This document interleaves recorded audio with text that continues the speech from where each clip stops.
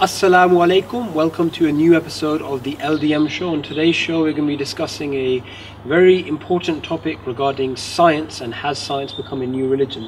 Assalamu alaikum, Abdurraheem. Wa alaikum assalam. How are you doing today? I'm alhamdulillah very well.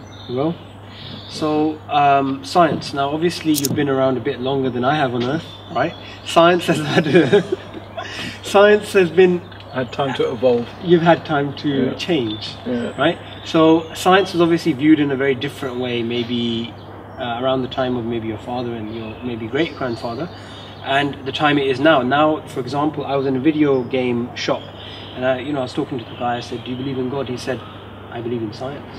So, how do you respond to someone like that? I mean, why do you think people have this way of making it into a religion?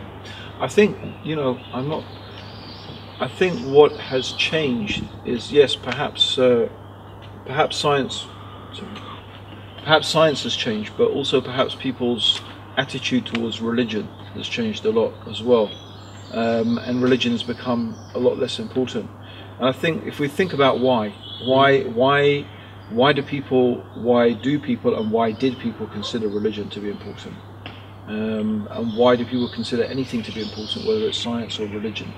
And I think ultimately, uh, for most people, it's you know what's in it for me, or what do I get from it?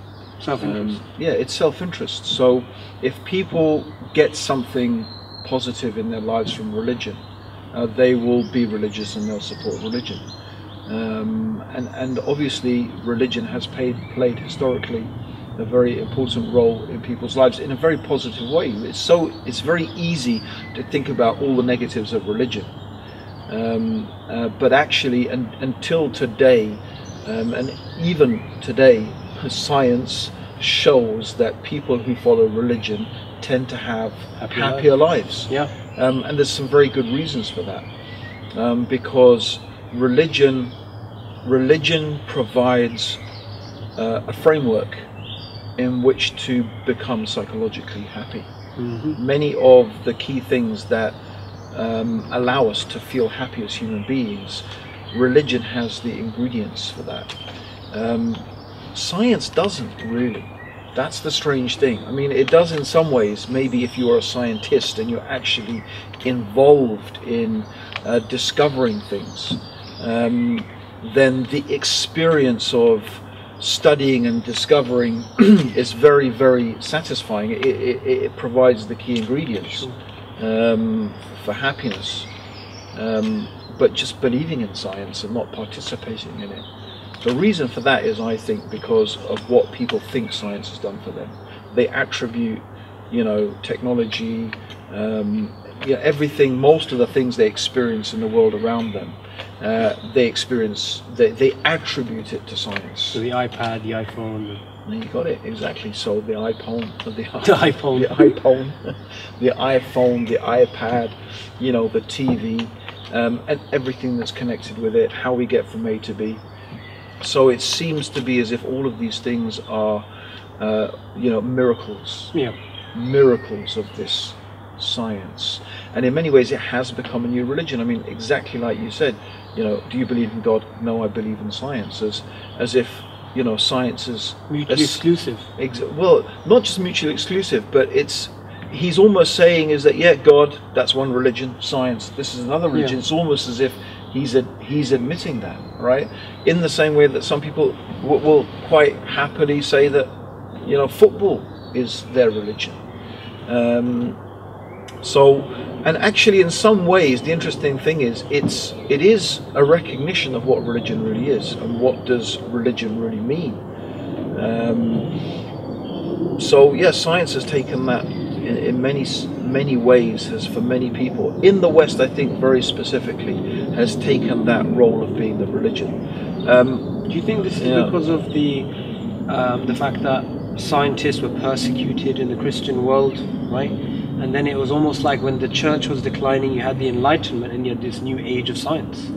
So, is that the reason why this is the case more in the Christian world, the former Christian world, than the Muslim world? I think I think part of the problem is, um, and obviously Christians are not going to like this, but the reality is is that Christian Christianity, the, the basic doctrines of Christianity are irrational. they're impossible. You know, believing that um, uh, believing that an eternal, infinite, self-sufficient creator became a temporary, mortal, needy man and was still an eternal, self-sufficient creator at the same time is asking us to believe in impossibility. So anybody who is embarking, as people were, uh, in the age of enlightenment uh, and decided that you know we need to use our reason more or reason should be the primary source from where we get uh, get our information rather than authority. Um, it's it's it's not going to be easy for them. It's almost going to be inevitable for them to reject Christianity.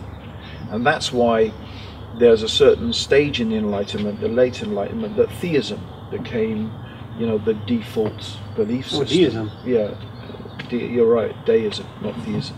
Thank you for the correction. deism, yeah, deists, yeah, exactly. The rationalists, yeah, which is sort of rational idea of God. Okay, Which is Um, closer to the Islamic. but it is it of is God. in some ways. In some ways, it is. Um, but it was a very impersonal God. It was a Yeah. sort of was God who just created everything and then Mechanical had no, yeah, had no real, you know, concern or attachment for humanity.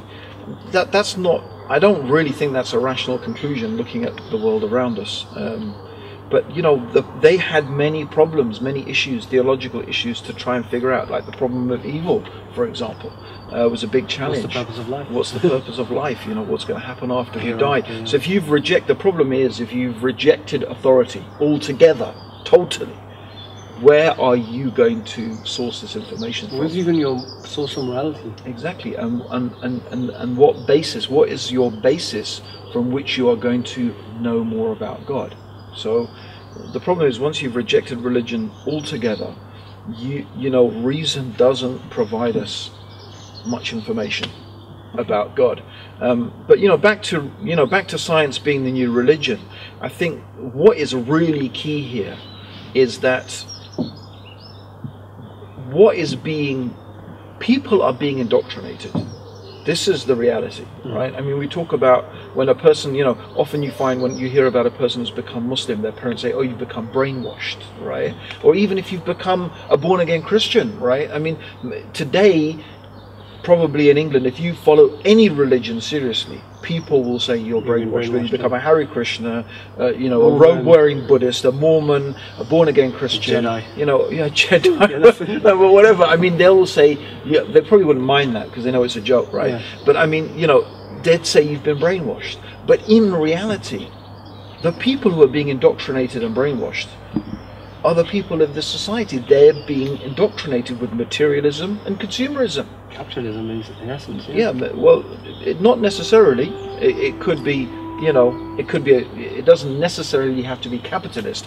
But at the the point being, and this is very important from from the discussion about scientism, which is the idea that science has the answers for everything, right? It's almost that science is the religion, right? Is that materialism is the point here? Is that at the end of the day, you are just a material being. You are just uh, Matter. you're, yeah, you're just matter. You're a sophisticated monkey. Um, you know, at the end of the day, what really matters are material things. And what you want Um, to do. Yeah, what you so if you if you have a nice house, you have a nice car, you know, you have a beautiful girlfriend, you know, you're having fun in your life. That's all that matters. That that those are the ingredients they say to make a successful life. So people now, I mean, we talk about the iPad and the i the iPhone, for example. You know, uh, there's a very interesting book called Brand Washed when they talk about how science that science is used in order to make you buy stuff and they scan people's brains to find out what state of mind they are in when they are buying a product and they found that people who use iPhones show the same brain patterns as people who are having a religious experience Oh. Uh, that is that is such a profound thing that you know. Although we've come to near to the end of the show, is we can we can talk But you can see the link between iPhone technology, science, religious experience. It links up. Yeah. And so it comes as a package, right? It all comes as a package. It's not science in isolation.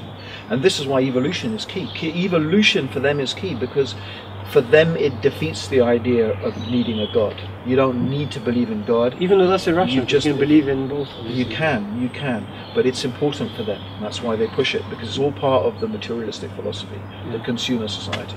Okay, excellent. Thank you so much for coming on the show, and inshallah, we're going to have you pleasure. on future shows.